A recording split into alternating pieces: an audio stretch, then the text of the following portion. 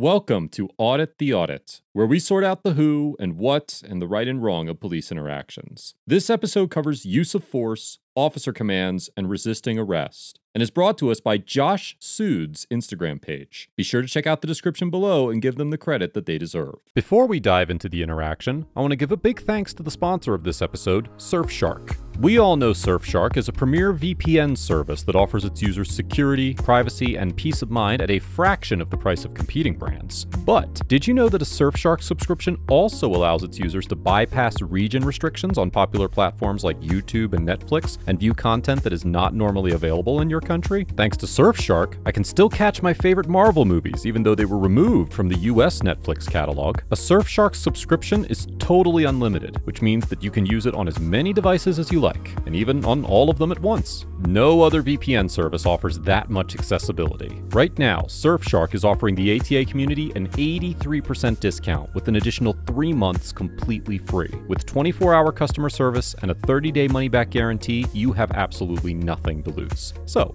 click the link in the description to claim your exclusive offer now. Thanks again to Surfshark for sponsoring this episode. Sometime around June 3rd, 2020, California resident Josh Sood was stopped in the Santa Clarita Valley area by Deputy Andy Stowers of the Santa Clarita Sheriff's Station for speeding. Go to on my location. So I was pulled over for speeding, and you're threatening to pepper spray me? I'm sorry? You're you pulled me over for speeding, and now you're threatening to pepper spray me because I'm not cooperating. You can write me a speeding ticket, and then you can go on your way. But you're threatening to drag me out of my car and pepper spray me. Now, I need You want to to elaborate? you to your car Uh-huh. for, for my safety Why is that? because I don't know what's going on with you, okay? So, you pulled me over for speeding. all right. Ready? Are you ready? Okay. What's your name? Deputy Stowers. Stowers, perfect. Yeah. You're gonna be popular for this, man. Going allegedly 60 in the 55, and you're gonna pepper spray me because It's you're afraid sir. for your life? I, I don't, I don't, you're, you're not acting normal. Most people No, I'm frustrated because you were just tailgating me to pull me over. I was going 50 miles an hour. I you you were going 60 to catch up with me. I was going 50, which isn't even illegal. Okay. And now you're Put pulling your down. pepper spray out. Put your phone down, bro. No, no, no, no, no, no, no, no. Put- put your Get, phone dude, down. get off me, man. You have,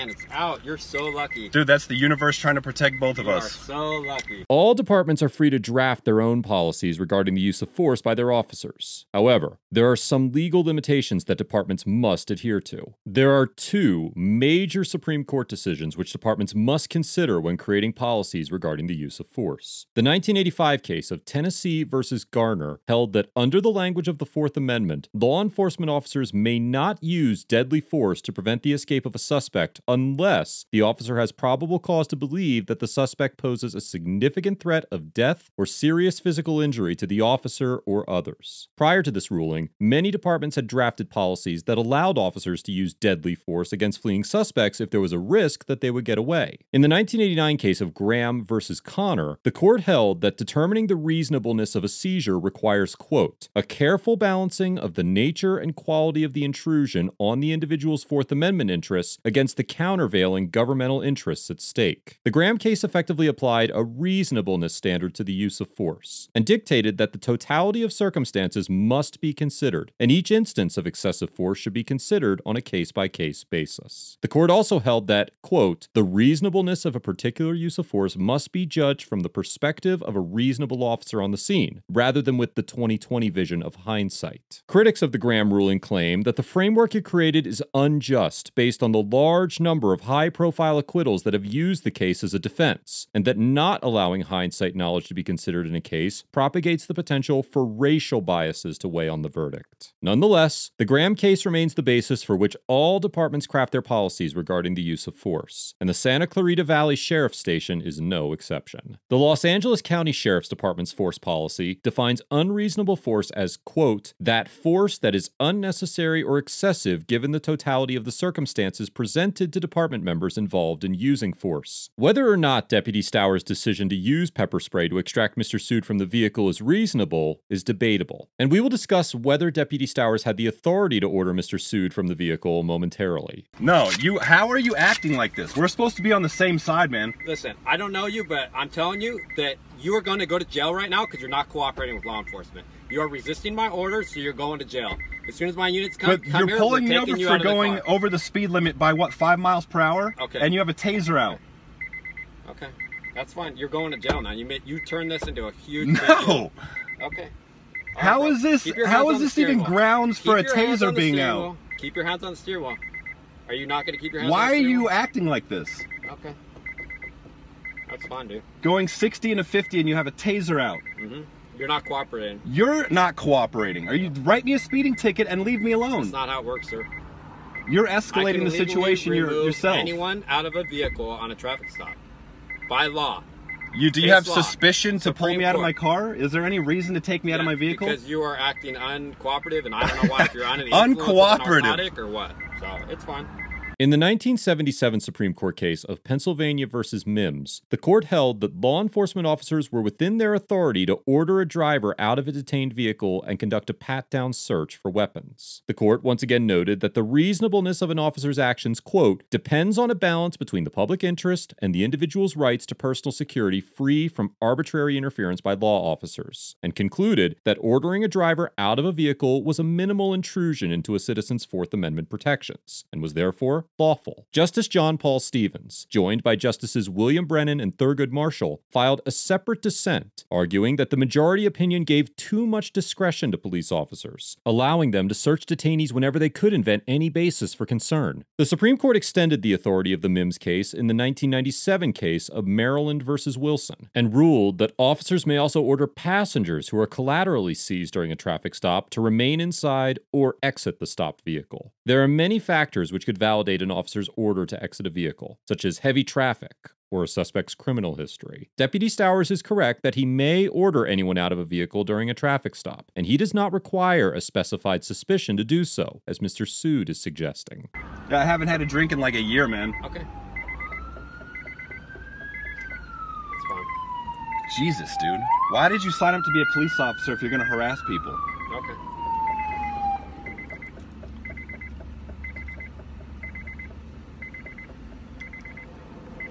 Hey, you got pepper spray? You got pepper spray? Mine's empty. Pepper spray? Oh, yeah. All right, bro. You're coming out of the car right now. Set, Can you explain to this guy what's happening? set what's your happening? phone down. Hey, set your phone down. Get down. out of the car. I suggest that you get out of the car. All right. I was going what Okay. 50 miles per Hey, hour, and you I'll- guys are dragging me out of my I'll car. If you want to. All right. Sergeant's doing his own right now. Oh, okay. Hey, put your phone down. Put your phone down. You're coming out of the car. You're coming out of the car. I got units. of Did he even right tell here. you why he's pulling me over? Listen, dude. Do you care? If that's bad here is to get out of the car. Do you care Okay, about why I'm as being of pulled right over? Now, my partner's ordering to get out of the car. So dude. All right, you get out of the car. dude, you're you're you're gonna go to jail for sure now. Okay, put the phone down. You're coming out of the car. The courts regard resisting arrest as a separate charge or crime in addition to other alleged crimes committed by the arrested person. It is possible to be charged, tried, and convicted on this charge alone, without any underlying cause for the original decision to arrest, or even if the original arrest was clearly illegal. However, this was not always the case in the United States. In the 1899 Supreme Court case of Bad Elk versus United States, the court held that an individual had the right to use force to resist an unlawful arrest and was entitled to a jury instruction to that effect. In 1899, a tribal police officer named John Bad Elk shot and killed another tribal police officer who was attempting to arrest Mr. Bad Elk without a warrant on a misdemeanor charge for a crime allegedly committed outside of the presence of the arresting officer. The Supreme Court reversed his conviction, noting that a person had the right to resist an unlawful arrest, and in the case of a death, murder may be reduced to manslaughter. The Supreme Court held the arrest to be unlawful due in part to the lack of a valid warrant. Although this case is widely circulated on the internet as a legitimate defense, the Bad Elk case is no longer considered valid case law and has no bearing in the realm of modern jurisprudence. Accordingly, it is never advisable to resist even an unlawful arrest, as it will likely result in the use of force by the arresting officer and the additional charge of resisting. As mentioned many times on this channel, justice is meant to be found inside a courtroom, not on the street and resisting arrest can only serve to escalate the encounter and rob your case of its legitimacy. Mr. Sood's refusal to exit the vehicle does subject him to a resisting arrest charge. California Penal Code 148 states that every person who willfully resists, delays, or obstructs any public officer, peace officer, or an emergency medical technician in the discharge or attempt to discharge any duty of his or her office or employment shall be punished by a fine not exceeding $1,000 or by imprisonment in a county jail not to exceed one year or both. Given that Deputy Stowers does retain the authority to order Mr. Sood to exit the vehicle, it is very likely that he will be charged with resisting. Where's Sarge at? Why are you pulling me out of my car? Huh? Why are I you can pulling me remove out- anyone on a traffic stop that I want to, okay? So do me a favor, put the phone down and come on out of the car. You're you- you're gonna turn this into going to jail, dude. I can legally take anyone out of their car. Are you guys all just allowing this guy to act like a maniac? In a follow up video released by Mr. Sood, he states that he eventually complied with the deputy's orders and exited his vehicle. The deputies then placed him into their patrol car while they searched Mr. Sood's vehicle. After finding nothing, the deputies issued Mr. Sood a citation for speeding and allowed him to leave the scene without further incident. Mr. Sood also stated that he never went to court for the speeding ticket, and a few weeks after the encounter, he was contacted by a member of the Misconduct Investigative Branch of the Los Angeles County Police Department, who confirmed that no warrant was issued for Mr. Sood's arrest, and the ticket he received was never entered into the system. In another video on Mr. Sood's Instagram page, he claims that he received another call from a Santa Clarita Sheriff's Department watchman who said that he had received multiple complaints about Deputy Stowers and was investigating his conduct. But Mr. Sood refused to cooperate with the watchman without seeking legal counsel first. Mr. Sood also said that he has begun the process of filing a formal complaint against all of the deputies involved in the encounter, but it is unclear whether he will take legal action beyond that. Overall, Deputy Stowers gets a C, because although his actions were within the bounds of his authority, he exercised poor discretion and failed to follow up on the proper procedures for Mr. Sood's speeding ticket. The path of least resistance is often an uphill battle of members of law enforcement, but officers are expected to have the patience and professionalism necessary to carry out their duties without escalating the encounter. Deputy Stowers' approach was unnecessarily hostile and authoritative and lacked the common decency that should be afforded to all citizens. If the deputy had addressed Mr. Sood in a non confrontational manner and actively worked to de escalate the situation, perhaps Mr. Sood would have been more compelled to follow his orders. Instead of engaging in a mode of actions that would effectuate control over Mr. Sood, Deputy Stowers could have made an effort to defuse the situation and relieve Mr. Sood of his apprehensions. There are many roads to the same outcome that were available to the deputy, but he actively chose to take the road of most resistance, and in such a polarized and reactionary environment that does not bode well for his department as a whole. Mr. Sood also gets a C, because although he was speeding, it is difficult to fault him for having apprehensions about Deputy Stowers' conduct. Without the proper legal context or knowledge of relevant jurisprudence, it does appear as though Deputy Stowers' conduct was irrational and illegal. And in a country where scholars study for upwards of up to eight years to gain a deep understanding of the legal process, average citizens cannot be held to the same standards as members of law enforcement. Mr. Sood maintained a calm and collected demeanor throughout the interaction and although he lacked a fundamental understanding of the legalities at play, he did not actively work to escalate the encounter and pose legitimate questions about Deputy Stowers' conduct. All that said, Mr. Sood was wrong about his legal obligations to exit the vehicle and could have complied with the deputy's orders and challenged the legality of the orders later in the courtroom. Let us know if there is an interaction or legal topic you would like us to cover in the comments below. Thank you for watching, and don't forget to like and subscribe for more police interaction content.